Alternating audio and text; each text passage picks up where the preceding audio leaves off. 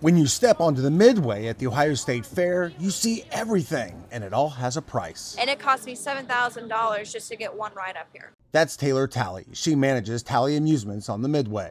Some might call her a carny, and she destroys the negative stereotype that goes with it. I'm proud to call myself a carny just because I'm fifth generation on both sides of my family, and people don't realize the you have to have your hands in almost every um, you know department. From mechanical, carpentry, engineering to electrical, Tally is a master of everything. Let's not forget, she's operating a business. You have to be a people person, and that's my job.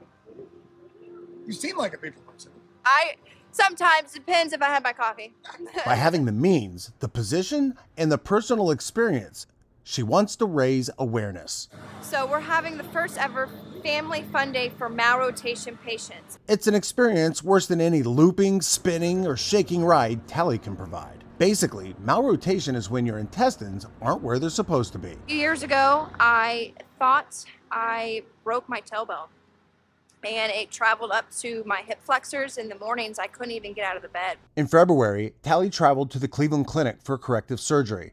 Now she wants to say thank you here in Ohio. To honor those malrotation patients and to spread awareness, I'm having the Family Fun Day here Sunday, July 31st. You can meet me at the giant Ferris wheel, the white one, at 12:30 to get your free VIP wristbands. You can register online before Sunday and even get free admission to the fair. The details are in the article to this story below. Local for you at the Ohio State Fair. Tony Moronis, NBC4i.com.